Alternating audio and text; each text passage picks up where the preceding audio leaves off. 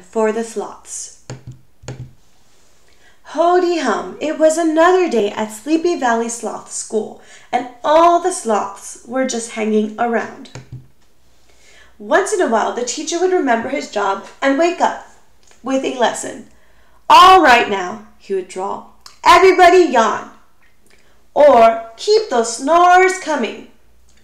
Or all together, students, let's roll over. Most of the time, though, the class just slept. It was a sloth thing. They were content in their slothfulness. Occasionally, the principal would drop in and say with a chortle, Don't mean to wake you, but I've never in my life seen such a lazy bunch of louts. Keep up the good whatever. And the sloths would smile in their slumber. The only movement of the day came at lunch hour. Actually, it was lunch three hours when the sloths would amble around the slotheria, taking a berry at a time, slowly chewing each one ever so carefully. After all that exertion, it was nap time again. Then the students were off to study hall, and then it was time for recess. The dismissal bell rang at three o'clock sharp each day, but it was dusk before the sloths left school because no one wanted to get up to open the door. Do I have to? moaned one. I did it last time, yawned another. My leg hurts, mumbled a third. So everyone was happy to go back to sleep until six o'clock when the custodian swept them out and they rolled home. One day, a new sloth came to school. She had just moved into the area, and her name was Sparky. Sparky was perky. She was full of life and energy, and vim and vigor and vitality. She was a mover and a shaker and a go getter.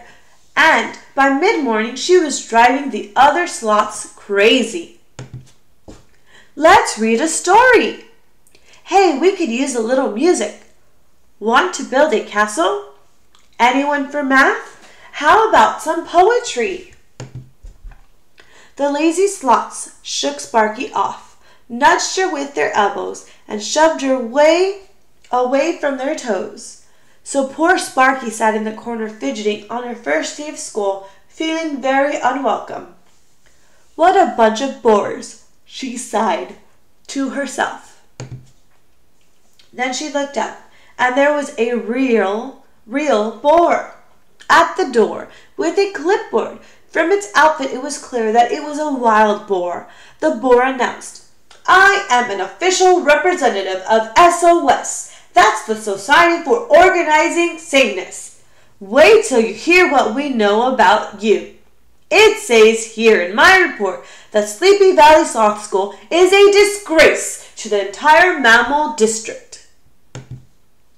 The boar was getting wound up now and began pacing wildly, shaking trees, whacking some slots with a clipboard, and poking others with a pencil until everyone was awake. Want to know your scores? Without waiting for an answer, the wild boar boomed on. Reading? Dreadful. Music? The absolute worst. Block building? Zilcho. Math? Forget it. Poetry? Off below and way under the chart. Thus, I am here from SOS to close this school. The sloths gasped. Their school? Their happy, peaceful, slothful school? They had to do something, but they weren't doers. They had never done anything.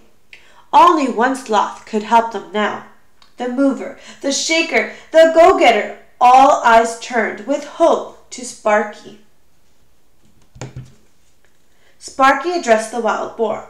You mentioned reading. Reading, of course. She passed out the books, and the sloths began, being unsure of what books were. Sandwiches? Began munching. Reading, whispered Sparky, not eating. She laid a book over each sloth. The sloths looked like they were reading. Music? Sparky whipped her violin out of her knapsack and played Flights of the Bumblebee, while the other sloth snored zzz, very realistic. Block building, The sloths were well past their nap time, but they threw themselves into the task.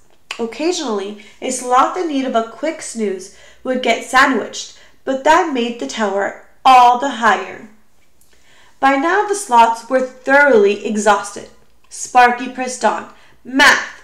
What's two plus two? The answer came in groan. Four. Get it. Luckily, the wild boar heard only the four and not the get it, so he didn't get it. And the last subject you mentioned, said Sparky, was poetry, off below and way under the chart. If you please, we will recite the way of the sloth. Of course, all sloths everywhere had been brought up with this poem. They'd known it since they were babies. They could recite it in their sleep, so they did. The way of the sloth. The way of the sloth is gentle and kind. It hangs from a tree with nothing in mind. It doesn't make faces or throw fits or holler. It never gets heated under the collar. It's surely no bother, that's easy to see. It just hangs around, contented to be. That, stated the wild boar, was impressive, most impressive. Some nitwit must have confused your school with another Sleepy Valley sloth school. It's a credit to the entire mammal district. Off stalked the wild boar with a clipboard, and everyone, especially Sparkly, Sparky, settled in for a peaceful, well-deserved, and very long nap. The end.